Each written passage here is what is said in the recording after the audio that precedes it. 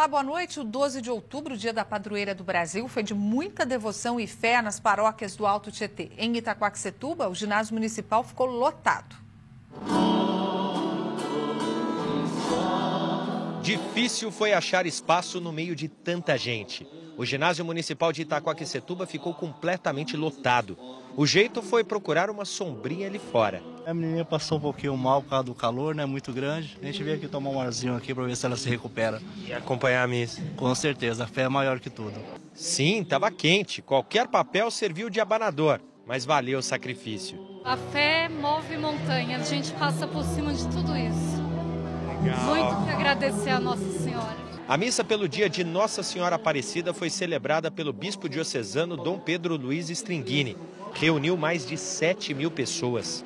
Eu não posso estar em todos os lugares, então eu escolhi no dia 12 vir sempre aqui em Itaquaquecetuba, porque aqui se reúnem as 11 paróquias dessa cidade. É uma maravilha, 7 mil pessoas, os padres, os diáconos, seminaristas, que o povo de Itaquá é muito fervoroso, a gente vê uma harmonia e a fé, a confiança e a alegria anima este povo de Itaquaquecetuba. No dia da padroeira do Brasil, Maria Aparecida carrega o nome da santa e a devoção. O dia de, de graça, de ação de graça, dia de agradecer a Maria. Então é um dia especial. Lenços azuis e brancos na multidão, pingentes com a imagem da santa, lágrimas, muitas, reflexão e emoção. Eu agradeço, a cada minuto eu agradeço, estou muito feliz. Durante a homilia, o bispo diocesano citou o encontro da imagem de Nossa Senhora Aparecida 300 anos atrás nas águas do rio Paraíba do Sul. Uma imagem que precisou ser reconstruída.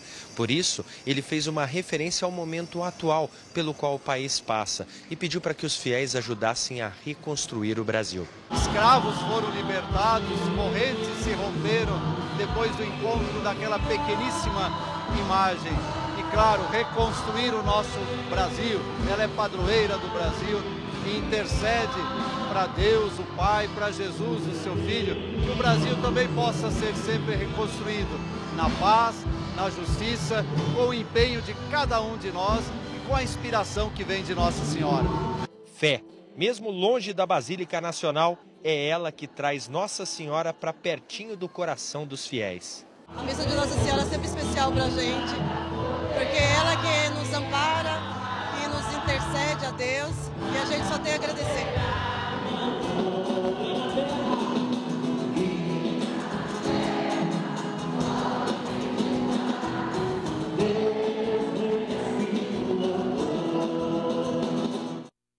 Aqui em Mogi das Cruzes, no distrito de Brás Cubas, teve alvorada para Nossa Senhora antes do, do sol nascer. A alvorada seguiu por várias ruas de Brás Cubas. Caminhada de fé para gente de todas as idades. Enquanto uns faziam pedidos, outros agradeciam milagres de cura. Hoje meu filho tem 10 anos e com um ano e oito meses ele começou a convulsionar. E numa dessas crises eu tenho uma, um quadro Nossa Senhora do berço dele na época. E naquelas crises eu virei e falei assim, Nossa Senhora, ele é seu filho. Não deixa acontecer nada com ele. E ele está curado, graças a Deus e Nossa Senhora. No fim da procissão, de volta à paróquia, o padre Sérgio Luiz Rocha lembrou o tricentenário histórico.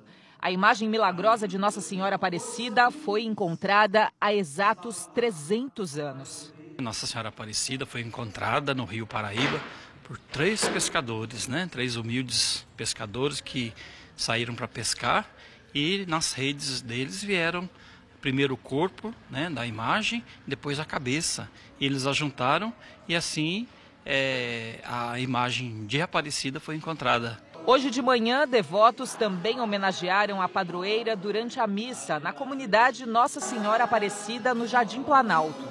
Mais homenagens na Vila Cléu, com a missa na comunidade Nossa Senhora Rosa Mística, da paróquia São Maximiliano Coube. Nossa Senhora Aparecida congrega. Ela une cabeça e corpo, coração e fé, nos une como comunidade, nos faz ser uma sociedade só.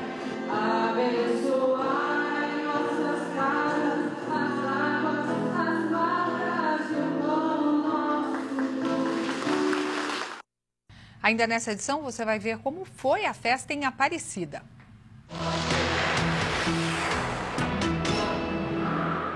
A massa de ar seco continua sobre o estado nesta sexta-feira. O dia começa com muito sol, mas tem previsão de pancadas de chuva à tarde e à noite que podem vir acompanhadas por granizo. Os termômetros continuam nas alturas, mínima de 18 graus em Suzano, máxima de 35 em Arujá. Hoje também é o Dia das Crianças e elas se divertiram muito ao ar livre. A Paola veio andar de bicicleta. Ah, porque aqui é espaço grande, tem como se pedalar, não tem carro. Mais seguro do que na rua? É, é seguro. A Beatriz escolheu esse balanço diferente. É medida peso. E quando você sobe e é mais pesado que o outro, o outro sobe e você desce. É legal? É divertido? Aham. Uhum. E o Luiz Henrique aproveitou o feriadão para bater uma bolinha. Ah, aqui, aqui é legal, né? Porque tem a grama aqui, é bem legal. A gente faz o golzinho ali na árvore, aí é legal brincar aqui no parque. O passeio do Dia das Crianças não poderia ser melhor. Nessa fase, eles querem mesmo é comemorar a data assim, brincando. Uma tarde no parque também pode render boas amizades. A Yasmin, a Stephanie, a Ana Lívia e a Melissa têm entre 4 e 9 anos de idade. Dividiram os brinquedos e se divertiram na areia. Eu e a Ana tava fazendo um castelo aqui. Aí elas pediram se podia brincar. Aí nós deixamos, aí depois fizemos esse castelo e esse daqui. Ficaram amigas? Sim. É porque a gente, a gente daí eu não, eu não conheci ela, daí a gente começou a conhecer, daí a gente ficamos amigas para sempre. Enquanto as crianças se divertem, os adultos querem mais é conforto. Essa família veio de São José ainda pela manhã. Dá só uma olhada na estrutura aqui do quiosque. O som tá rolando solto. Ali tem um cooler com várias bebidas, né? O que, que tem aí? Ah, tem refrigerante, tem suco e muita água para hidratar a criançada, né? É, com esse calor tem que ficar atento aí à hidratação. E o almoço foi reforçado por aqui? Foi, salgadinhos, é, sanduíches feitos em casa e de sobremesa um delicioso bolo de chocolate. Quero, claro que eu quero, não sou nada boba, né? Eu vou ficar por aqui e aproveitar a sobremesa. Delícia! Feliz Dia das Crianças! Hoje à tarde, duas festas em bairros diferentes de Mogi das Cruzes fizeram a alegria da criançada. Eventos organizados por pessoas que passaram por momentos difíceis e deram a volta por cima. Música e coreografia para animar.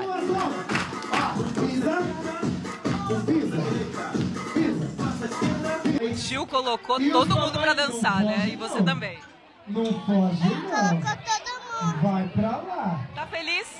Vai pra. De ver a criançada brincar, de ver a criançada pular, dar risada com as coisas que a gente fala, meu, é algo que chega até arrepiar às vezes. Teve almoço para os convidados e sorvete à vontade para refrescar.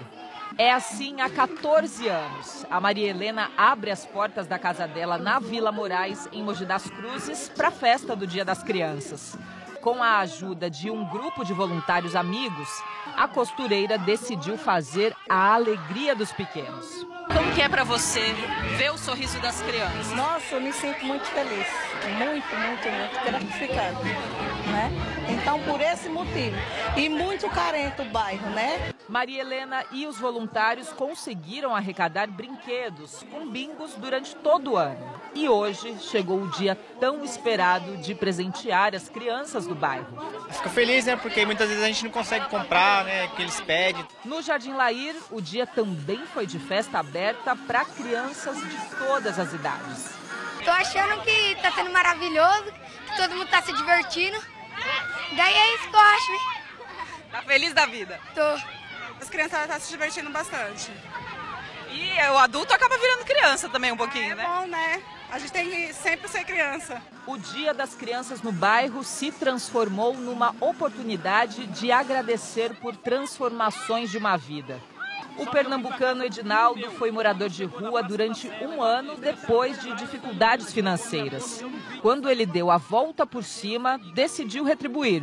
Procurou comerciantes e empresários que passaram a ajudar nos gastos da festa que ele criou. Hoje faz 24 anos de trabalho com as crianças. Comecei com 50 crianças. Já estou com, indo com 3 mil crianças este ano. Meu coração fica muito, muito acelerado. É, é, é muita emoção por dentro porque se eu pudesse dar bastante brinquedo para eles, eu, eu colocaria uns 6, 7 mil brinquedos. Edinaldo ainda se emociona quando conta a história dele. Do palco improvisado, distribuiu material escolar. Para o organizador da festa, ainda é pouco. Mas para quem recebe, é tanto que vale a gratidão eterna. A intenção dele foi muito boa, contagiou todo mundo e com certeza vai todo mundo sair muito feliz daqui. Veja a seguir, casa lotada, multidão toma conta do Santuário de Aparecida nesse 12 de outubro. Já a TV volta já. Eles te convidaram? E eu, preciso de convite? Claro que não, nem eu, nem você e nem você. No aniversário do Castilho, a festa é pra todos, pra, pra comemorar. comemorar. Piso Extra Porto Ferreira 25,90. Kit de banheiro 219,90. Porcelanato Extra Elizabeth 44,90. Até a entrega é pra comemorar em 24 horas em São Paulo, Mogi e Litoral de Peruíbe a São Sebastião. Aniversário do Castilho é pra comemorar. Venha, é do, é Castilho. do Castilho. Não perca as ofertas de inauguração do Estilos Super Center. Alface Crespo Estilos, 49 centavos. Arroz Estilos, 8,99. Contra filé, 18,90. Ofertas válidas para todas as lojas Estilos Supermercados. Aproveite! Tudo! Estamos trocando todos os produtos das lojas, do site, do depósito. Para você trocar tudo, tudo mesmo aí na sua casa. Tá tudo com desconto. Smart TV 40 Samsung de 1999 por 1789. J7 Prime por 1199. 200 reais de desconto. Lavadora Electrolux com 200 reais de desconto. Só 1199. Ventiladores ou liquidificador Arno por 59,90. Troca tudo, Casas Bahia. É hora de trocar tudo na sua casa. Feijoada Amigos da Latinha, dia 15 de outubro, das 12 às 16 horas, no Clube de Campo. Você come, se diverte e ainda ajuda quem precisa. Apoio TV Diário.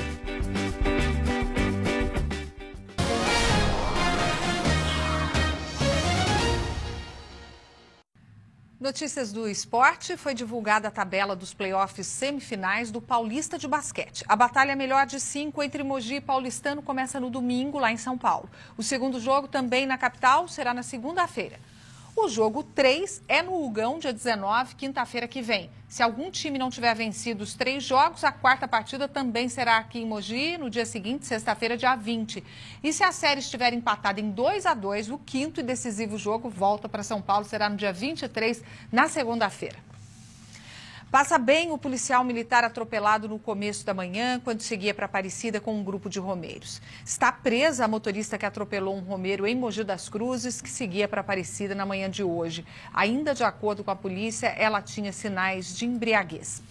A mulher fez o teste do bafômetro e foi constatado que a quantidade de álcool era maior que a permitida. Ela vai responder por lesão corporal e embriaguez ao volante. Como a pena para os dois crimes ultrapassa quatro anos, ela não poderá pagar fiança e responder em liberdade. O policial militar, que estava de folga, quebrou o pé, recebeu atendimento médico no hospital e já foi liberado. O atropelamento aconteceu por volta das 5 e meia da manhã, perto do Parque Centenário. A gente volta a falar sobre o Dia da Padroeira do Brasil. Milhares de romeiros participaram hoje da festa dos 300 anos do encontro da imagem de Nossa Senhora Aparecida. Desde cedo teve missa, música e até um recado especial do Papa Francisco lá em Aparecida. Uma procissão em homenagem a Nossa Senhora Aparecida foi uma das principais celebrações da tarde. Os fiéis saíram do Porto Itaguaçu, local onde a imagem da santa foi encontrada há 300 anos. Nossa Senhora Aparecida foi carregada pelas ruas da cidade. E nessa festa dos 300 anos da padroeira, esse aqui é um dos pontos mais visitados pelos romeiros no Santuário Nacional. É o local onde fica a imagem de Nossa Senhora Aparecida. É uma longa espera na fila para ficar alguns minutinhos perto dela. Foi muito importante porque foi a primeira vez que eu estive aqui. E eu acredito muito nela, que ela está abençoando todos nós. Desde as primeiras horas da manhã, o Santuário Nacional ficou lotado. A cada celebração, os devotos se espremiam e se emocionavam. E no dia delas também, não faltou criança por aqui. Do mesmo jeito que eu aprendi a amar Nossa Senhora no colo da minha mãe, eu quero ensinar minha filha amar Nossa Senhora, para que isso não morra jamais. A principal missa do dia, das nove e meia, foi no pátio da Basílica para acolher tanta gente. Olha a multidão que participou da celebração. O cardeal Dom Giovanni Ré veio representar o Papa Francisco na festa dos 300 anos da padroeira. Mas quem disse que o Papa não deu um jeitinho de participar?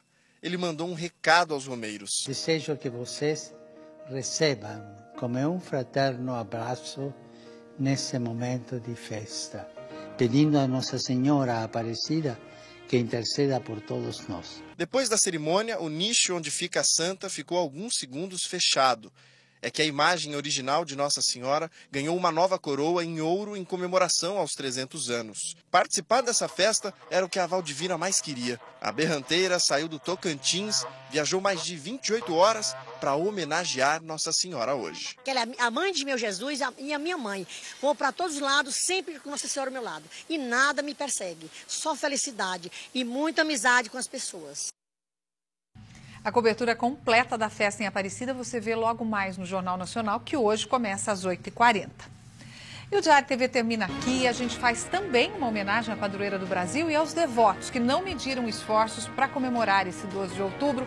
Para você, uma boa noite e até amanhã.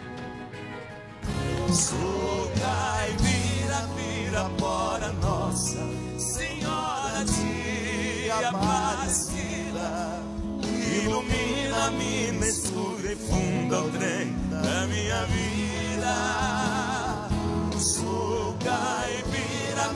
vira fora nossa Senhora de Aparecida.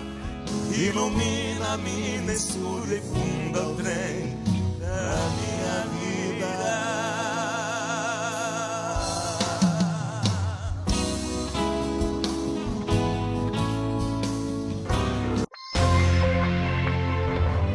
ZYB 901, TV Diário, Canal 38 UHF Mogi das Cruzes. Relaxar no balanço de uma rede é uma delícia e o segredo para garantir esse momento de lazer é uma boa instalação. Vamos ajudar você a escolher o melhor modelo de rede e ensinar a colocá-la em sua casa com toda a segurança. É de casa! E é neste sábado, hein? Nove da manhã. Estamos aqui esperando você. Você vem!